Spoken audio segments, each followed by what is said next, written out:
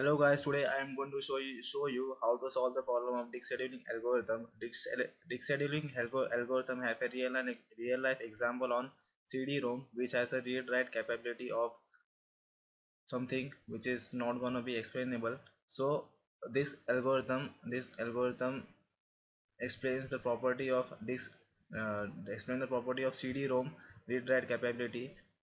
So given we have given some q that is 95 180 180 34 119 11 123 62 64 these are the some numbers that we have given. So the given q is this. And read write head is initially at the track 50 and trial track being at 119 so 119 is the last position and zeroth is the first position. So we have given what we have given the head moment of 50 we had given the head positions of 50 so what is so now now let's start with the first come first serve. First come first serve explain how how the incoming process how the incoming request is served first and then the next incoming processes then next incoming request serve the next. And we have 50 50 given that is this. This is the 50 is given. And then the next is 95 95 in the queue according to FCFS then 180 then 34 then 119 then 11 uh, then 11 then 123 then 62 then 64 these these all tracks is in uh, according to the first algorithm that is FCFS so FCFS FCFS has some disadvantages. Uh, disadvantages is that that algorithm lowers the efficiency by trailing by going every part of the every part of the graph. So the the head movement the total head movement is 640 which is much higher. It should be minimum so so how we how we can calculate it? So now now let's take now now let's let's calculate the FCFS and we are given so how to calculate? Uh, we can calculate it by 95 minus 50 the track position from 50 to 95 we can calculate by doing like this. 95 minus 50 plus 180 180 180 180 180 plus this 95 so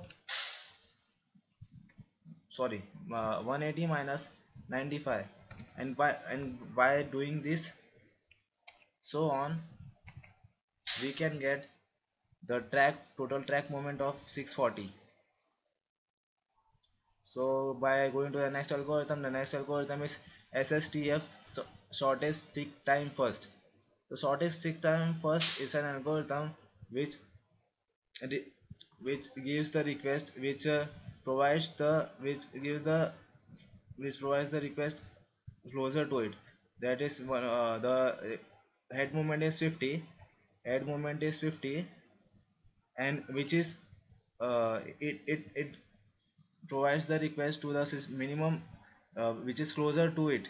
The 50 is closer to 34 or 62 the difference is calculated and 50 is closer to 62 then it goes to 62 the track is going from 50 to 62 and then a track is going from 62 to 64 which is minimum which is closer to 62 and then 64 to 34 then from 34 to 11 then from 11 to 95 uh, 95 and then so on. Uh, the shortest seek algorithm tells it, it takes the minimum value closer to the head movement given in the question. So the total track movement is 236 which is lesser than the above, algor above algorithm that is FCFS 236 is slightly smaller than 640 so uh, again it has some disadvantages. Shortest seek time first as also some also has some disadvantages in it. So to overcome these advantages these advantages the elevator scan comes into the picture. So elevator scan is just like an elevator. When we use an elevator to move from ground floor to uh, suppose 6th floor when you press the button of 6th floor you move from uh, ground floor to 6th floor it serves the incoming request by going up and then a request uh, and, and then serves the request by going down and then away so it uh, suppose 50 is the head movements that we consider it as ground floor and we have to go to something like this place huh? It serves the request almost at the end at the, the let's focus on this. This is the zeroth location where it goes and request uh, and serves the request according to this.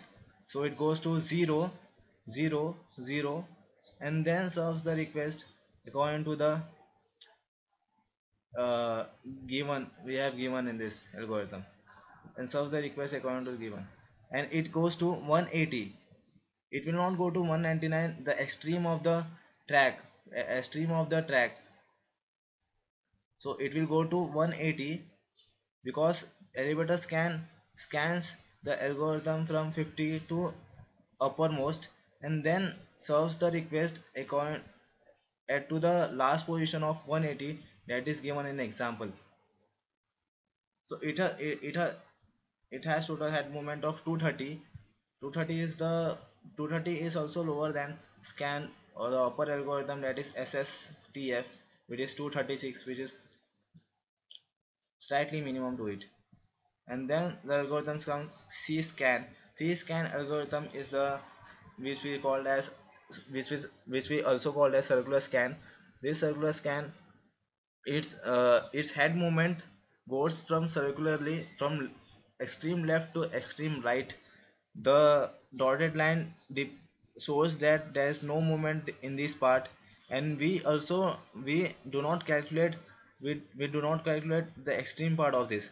So uh, this uh, this 199 minus 0 we don't take take take this in solving the sums. So this is the 50 50 and then 34 it goes to extreme left to no movement and then extreme right so the head moment is 187 so it is slightly smaller than scan algorithm. And we have some look algorithm. C look algorithm is a higher version of c scan algorithm. C scan algorithm moves from extreme left to extreme right. But this, this c look scheduling algorithm moves from slightly lower than this not from extreme but from 11 to 180 this is the main point that you have to focus on. 11 to 180 means that this is not going from extreme 0 to extreme 199 of total head total tax given on the screen. Total head movement is 157 which is smaller than this 150 187 and the last algorithm we're gonna show you is look algorithm look scheduling algorithm which we we uh, which we are not providing in this video. But uh, I will uh, I will explain you. This look scheduling algorithm is similar to scan scheduling algorithm. The only difference is that the only difference is that that in elevator scan we move from 50 to 0 50 to 0 but in look algorithm we move we move this head from 50 to 11 and then go on to 180 this is the main point that you have to focus on 180 and then this algorithm this look algorithm is slightly similar but the main difference is that it goes from it, it, it serves the request to extremes 0 but in look algorithm we'd go from 50 to 11 and then requesting and then serving the request according to the path. So this algorithm that we are completed. If uh, if you like my video then subscribe and thank you guys